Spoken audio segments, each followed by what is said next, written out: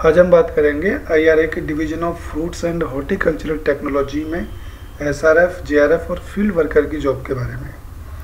सबसे पहले हम जानते हैं एसआरएफ की पोस्ट के बारे में। एसआरएफ की एक पोस्ट है और जो प्रोजेक्ट नेम है वो identification of QTL for fruit quality traits in mango इसके जो पीआई हैं वो डॉक्टर मनीष श्रीवास्तवा और इसकी जो इसेंशियल क्वालिफिकेशन है, वो post graduate degree in basic science और post graduate degree in professional course life science including agricultural science biotechnology molecular biology candidate के पास में नेट या गेट सर्टिफिकेट यानी क्वालिफाइड होना चाहिए। डिजायरेबल क्वालिफिकेशन में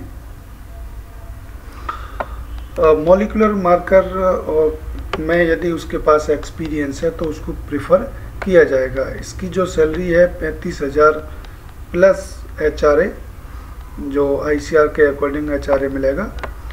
इसके बाद फ़ील्ड वर्कर की जॉब के बारे में बात करें तो इसकी भी एक पोस्ट है और इसकी जो सैलरी है, वो पंद्रह हज़ार फिक्स है पर मंथ और इसकी जो इसेंशियल क्वालिफिकेशन है, वो टेंथ पास है। इसके बाद में एक वैकेंसी और है जेआरएफ की। इसका जो प्रोजेक्ट है वो अलग है। इसका जो प्रोजेक्ट नेम है वो national project on functional genomics and genetic manipulation इसके जो पीआई हैं डॉक्टर संजय कुमार सिंह, इसके इस प्रोजेक्ट के पीआई हैं। जेआरएफ की जो सैलरी रहेगी वो इकतीस हज़ार प्लस एचआरए रहेगी। इसकी एक पोस्ट है essential qualification post graduate degree in basic science life science post degree in professional course. Life science, including agriculture science, biotechnology, molecular biology. Candidate NET और गेट क्वालिफाई होना चाहिए। या तो नेट हो या गेट क्वालिफाई होना चाहिए। डिजायरेबल क्वालिफिकेशन में मोलिकुलर मार्कर के क्षेत्र में यदि उसके पास एक्सपीरियंस है तो उसको प्रेफर किया जाएगा।